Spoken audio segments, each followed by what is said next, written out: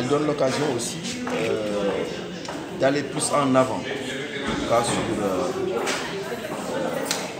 ne veux pas parler des règles de la concurrence, mais sur le fonctionnement que nous voulons de l'autorité régionale, de la concurrence, de la coopération entre euh, l'organe régional, mais également les C'est important parce que euh, les États souhaitent avoir un rôle beaucoup plus actif dans la concurrence.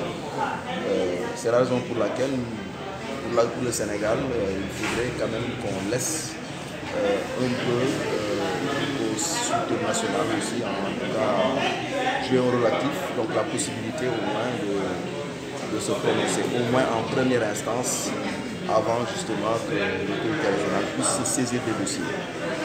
Bien entendu, si c'est un contentieux euh, qui a une dimension régionale, naturellement, peut-être la, la CDO se saisir. Mais quand c'est une question qui se déroule à l'échelle nationale, je pense qu'il est important qu'on laisse aux États membres, en tout cas, la possibilité de se prononcer en la répétition. Quelle sera l'autorité de cette autorité-là quelles sont ses Alors, euh, vous voulez parler de l'autorité régionale?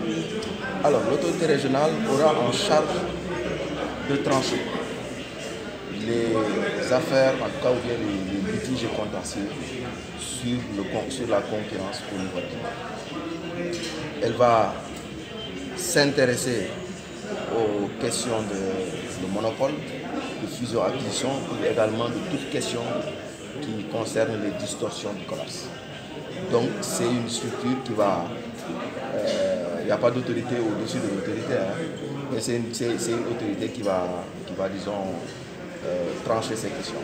C'est la raison pour laquelle, justement, euh, excusez de la répétition, c'est important pour permettre justement à, aux autorités nationales aussi de, de jouer un rôle actif, qu'on leur permette de se prononcer en première instance avant que la question soit, soit portée à l'échelle régionale.